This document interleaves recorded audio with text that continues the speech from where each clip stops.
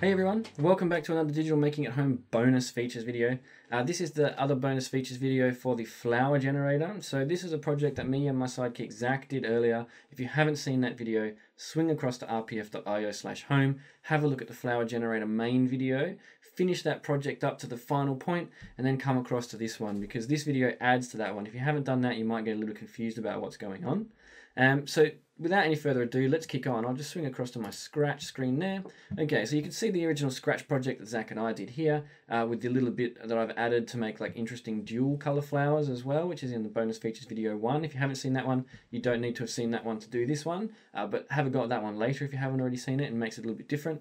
So let's have a look and see what this thing does, just to remind you. So if we push F, we should get, right, I get a whole screen full of random flowers, which is really nice. If I push A, I get a whole screen full of dual color flowers, so one that's got an outside ring and an inside ring with the same petal shape but two different colors. And so this time what we're going to do is we're going to add a different bit of functionality that will make the backdrop change color and then it will also make a whole bunch of flowers appear in geometric places, right? So repeated sort of symmetrical places and you can make some nice patterns that way. So in order to do that, Let's scroll down the bottom. I'll leave that up here so we can see the custom block that we've got going. Uh, and then this one here, we're going to start from when a key is pressed. So this time I'm going to use P for pattern. So when the P key for pattern is pressed, I want it to do the same thing all the time, okay? So we're going to have our erase all block first of all, because whatever we had up previously, we want to get rid of. We want to have the erase all show up. We want then to have it go to a certain specific place on our screen. So we're going to have our sprite go to minus 150 right so to the left hand side of our screen. And then we want it to go above the median line so let's say 100 okay so my sprite when I click P it will clear everything and that's where my sprite goes to. Okay you can see it appearing here. Uh, I can set the size to be something a little different. Right just so you can see where it is. When I push P it goes to the same place. I can grab it I can move it I push P and it goes back there. So that's where it's going to draw my flower. Um, once I've got that going, I want it to do a bunch of stuff. So basically I want it to repeat and draw a bunch of flowers for me. So I'm going to go to control. I'm going to say repeat. Let's just do it. Uh, let's do it once for now. All right, so we'll have two flowers draw. And then what we're going to do that is we're going to come here, we're going to grab out the draw flower block. So in my blocks, we've got draw flower with three parameters in it. So I'm going to grab one of them, and I grab one of them. So I'd like to have in my, we see here that I've got my parameters for color, size, and petals. So I'm going to draw a flower here, and I like to have random operators for my colors. So I can do that from 1 to 199, and another one from 1 to 199, which is the max you can do that sort of thing on the color art scheme, from zero, from 1 to 199, anything bigger and it won't like it, it won't do anything for you. And then for the number of, for the size we want it, we can set this one to be 100, right? So it'll be its normal size. And this one, let's make it slightly smaller. Let's make it uh, 33. Why not? So one third as big. So we'll have a big one and one that's one third the size.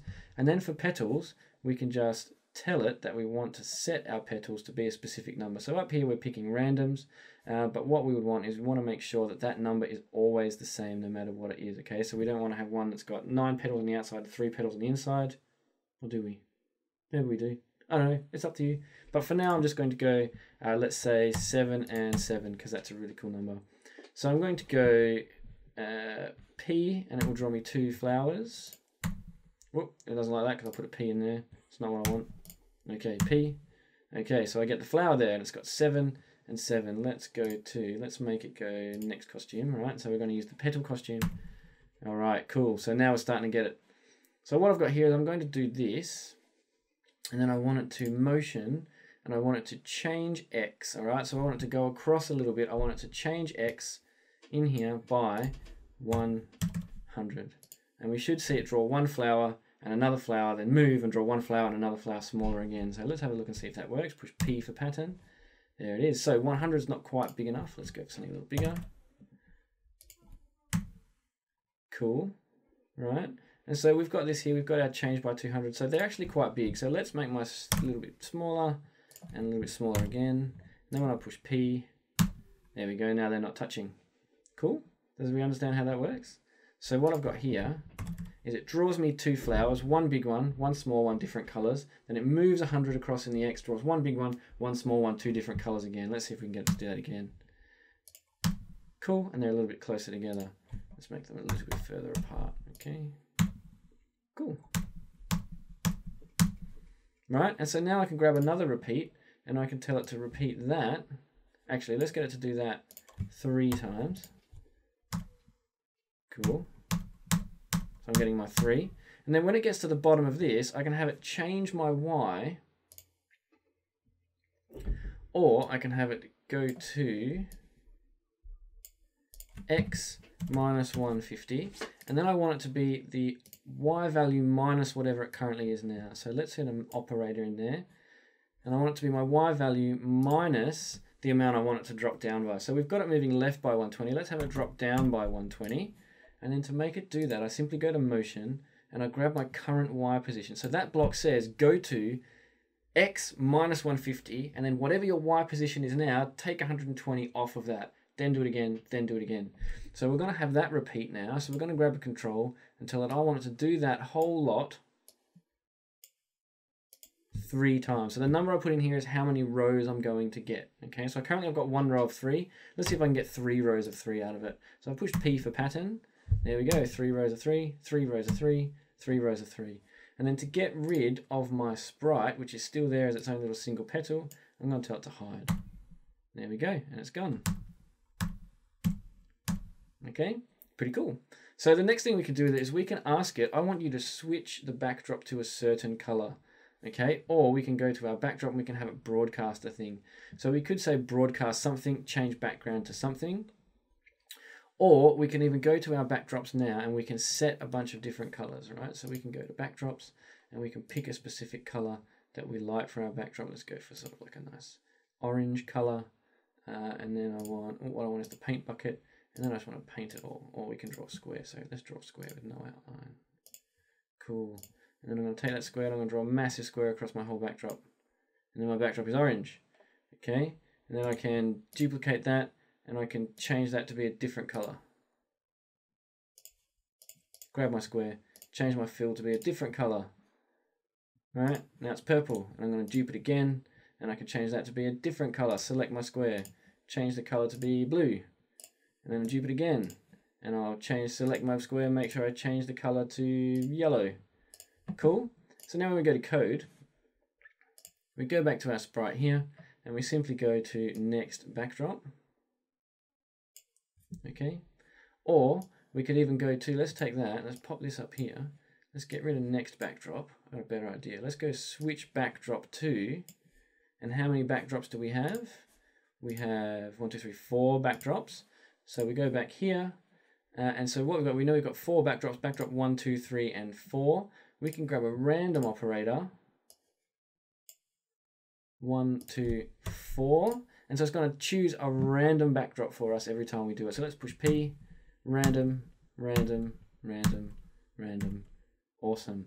So I think I might change my X by a little more. Let's go for 150. I think I might try and spread them out a little more.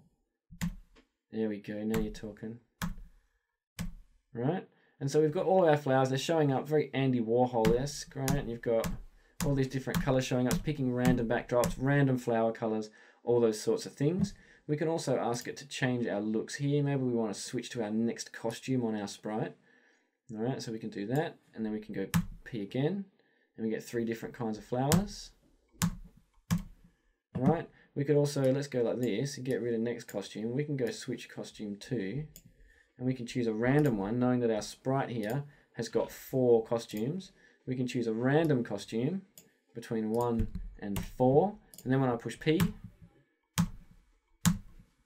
right, chooses random ones for me. Really cool. I could even take that and throw it in here if I wanted. And I'd choose a random costume for my different flowers. Every time it drew a new flower, I'd get a random costume. Pretty cool, right? So we're starting to make some really nice artwork here. This is a nice steady pattern that we can do with our artwork. Depends on how you want to do it. I think I like to have my random costume out here, to be honest. I like the rows of flowers. Pretty cool, right? Um, and that's basically it, everybody. That's how we can make those sorts of different patterns, kind of like a wallpaper. If I wanted to save it again, just to remind you, right click here, choose Save Image As, and it just downloads it right there. So when I open it up, pops up on my screen. I'll drag it across to this screen for you so you can see it. And there it is. I've got it saved. I can take that image, I can share it to people, I can send it to grandma, I can make it into like a backdrop for my desktop. I can do all sorts of cool things with it. And that's our patterns. So we hope you enjoyed that, guys. Keep tuning into us at rpf.io slash home where we make cool stuff together. And uh, we'd love to see your work. Again, share your work with us. Share it to us through rpf.io slash home. Tweet it to us. Send it to us on Facebook, anything like that. And keep watching the live streams every week, everybody. We run them at Wednesdays, 2 p.m. British Standard Time. Um, you can come in, you can watch those, you can see us do live coding with young people. We get the audience to participate, ask us questions, throw us solutions all sorts of really cool stuff happens like that. So just remember, everybody, because we're not all in the same place, doesn't mean we can't keep getting together to make awesome stuff. And I'll see you next week. Catch you later. Bye.